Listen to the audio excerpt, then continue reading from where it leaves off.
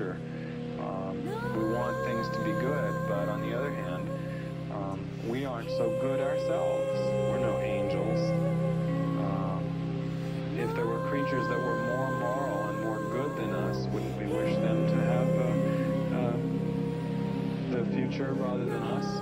If it turns out that the creatures that we created were creative and very, very altruistic and gentle beings, and we are people who go around killing each other all the time and having wars. Wouldn't it be better if the altruistic beings just survived and we didn't?